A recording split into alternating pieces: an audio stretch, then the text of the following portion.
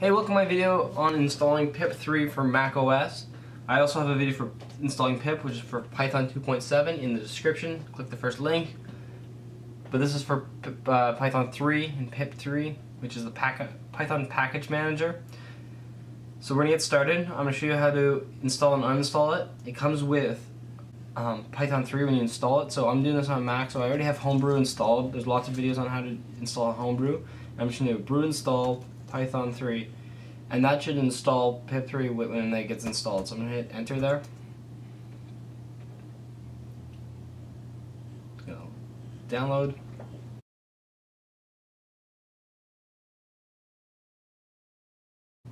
It's, it's just taking so long. I don't know why.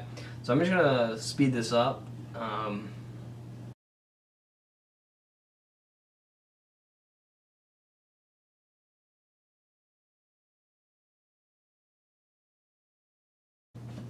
Okay, so now we're done. Um, as you can see on my screen here, at the bottom says, I actually already have it, I set it all up when I was installing OpenCV.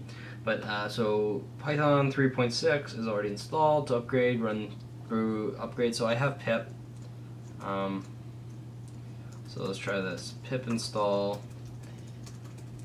To install a package, you run um, pip3 install, and like a package name, it, like here, that's how you install a package. And so, package name, for example, is called request. Let's do HTTP request.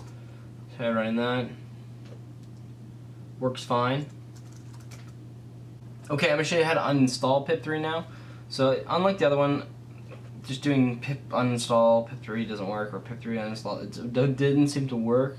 So, what you want to do is go to your user local lib folder and in there there is a Python. I have Python 3.6 folder right here. And in there I can go check my site's packages. And I can navigate over to my pip folder here.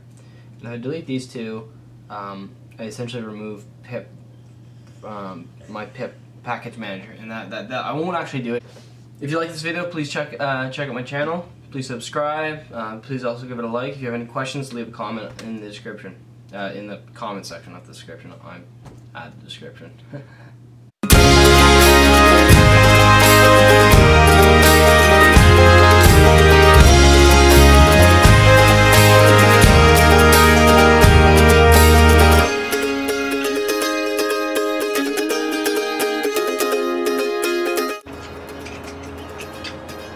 time for the edit process.